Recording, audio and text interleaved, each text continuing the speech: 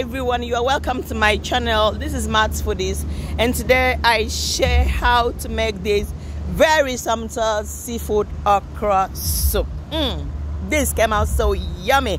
So I'd like you to stay through and see how I prepare this. First of all I have the side ingredients which is the okra and I have some crabs.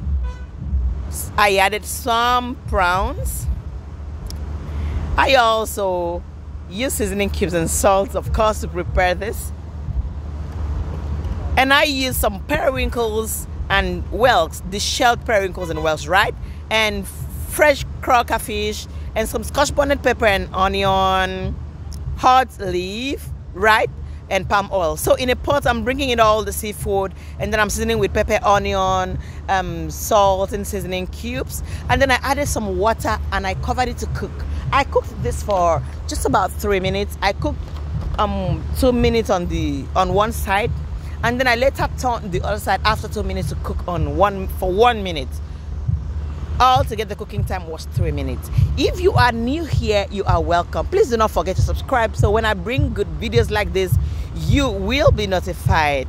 And do not forget to like do not forget to comment and even share. Mm, thank you so much now to my returning subscribers you're the real deal. I appreciate every one of you. Please kindly like comment and share this video. So after about three minutes i'm bringing the periwinkles and the shelled whelks right?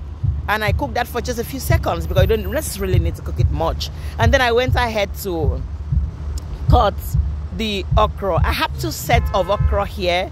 This other set is very thinly sliced right and then the other side is a, a little bit larger. The one that is larger is the one that i'm going to pound and use as the best for my soup. Right so i'm going ahead to pound the bigger ones now. Right um i'm gonna pack that and keep to use later. So very soon you'll see how i use that. This is one of the easiest soups you can prepare very delicious very nutritious and easy to prepare at the same time. I prepared this in a matter of minutes. In a matter of minutes. Right. So at this point my seafood is already cooked. So i wanted to remove the fish because i don't want it to break when i'll be cooking the main soup right and then in another pan i brought in some palm oil heated it up a little bit and then added some onion i sauteed this onion for a few minutes before bringing in the seafood. Do not forget that I added enough seasoning cubes and salt for it to be tasty. So I'm not going to be adding seasoning cubes and salt to the main soup. Mm -hmm.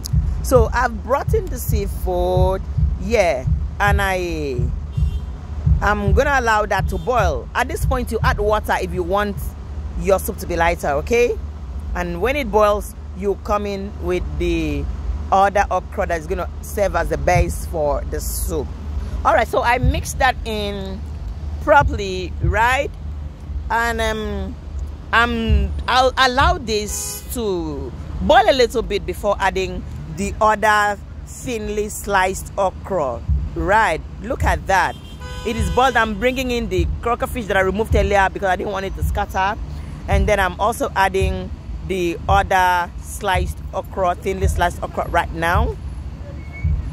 At this point, this soup is almost ready. Just go ahead and serve and enjoy with any swallow of your choice. I also added hot leaf. Yeah, it gives this spiciness, this flavor to the soup that you will absolutely love.